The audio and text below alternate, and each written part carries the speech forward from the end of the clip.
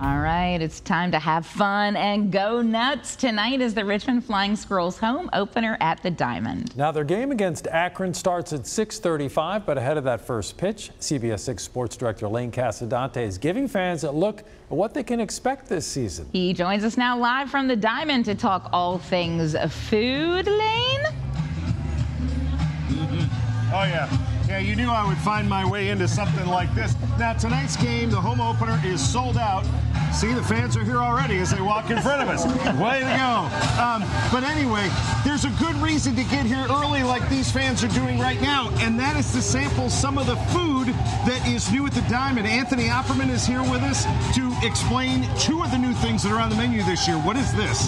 Yeah, so first lane, happy baseball new year. Happy baseball new year. Uh, so yeah, you're right. Like getting to the ballpark early, getting that first hot dog of the year, that's the best way to go about opening day. So this is a specialty burger you can get at third base upper stand. It's called the Hangover Burger, also known as Carney's Breakfast on Sundays Yeah, because right. he leads the league in Sunday hangovers.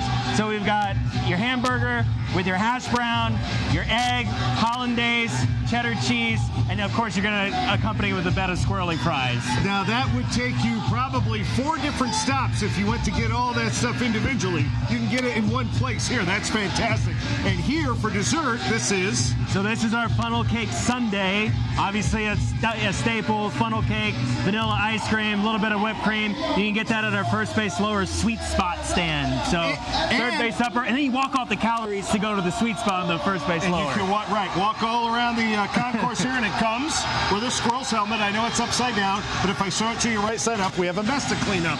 This has got to be. You said it's Happy Baseball New Year. This is like Christmas and New Year for you guys, right? I mean, we work all off season for this, and it's always a long, cold winter to get to this point, and just all the work of the staff did to be able to get the ballpark ready for today and, and for the whole season. And, you know, this is not just the start of the journey for 24, but what's to come into the future, and we're really excited about that as well.